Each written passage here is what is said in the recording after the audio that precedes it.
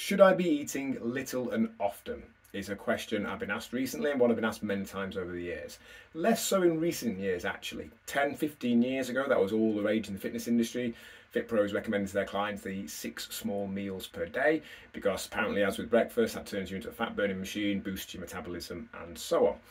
And really, it's the exact same answer as with breakfast. It's the total, the average across the day and the week that dictates the direction you go in not how frequently those things are broken down into.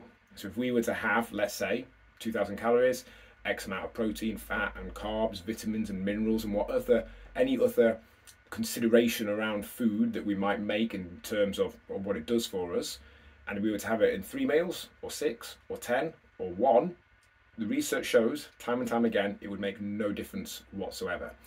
Now, often the caveat with things like that is that um, that all else being equal, because often decisions do have knock-on effects.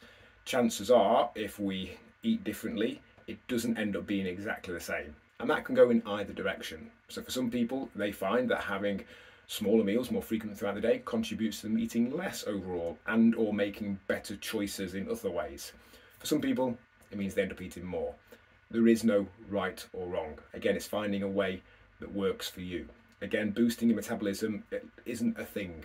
There is no version of events where the amount of energy your, your internal organs and your muscles and your bone need in order to function is changed immediately by how much food you've just consumed. That does not make any sense.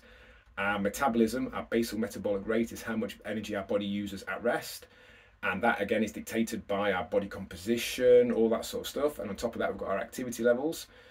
The only way that a change in, in frequency and timing of food affects our energy needs is if it makes a difference to our activity levels. If it makes us feel better or worse, and therefore we are more or less active, then it makes a difference. It doesn't mean our organs, our bone, our skin, etc., starts using more energy at rest because we've consumed more food. So again, boosting metabolism isn't a thing. Turning you into a fat burning machine isn't a thing. Eat in a way that works for you, whether that be preferential, logistical, circumstantial, financial, whatever it may be, as long as it's ticking the boxes of what needs to happen for you to work towards your goal, whether that be total calorie deficit, whether it be enough protein, enough vitamins, enough minerals. And if you're not sure what those requirements are, those boxes that you need to tick, just ask us and we'll help you see what they are.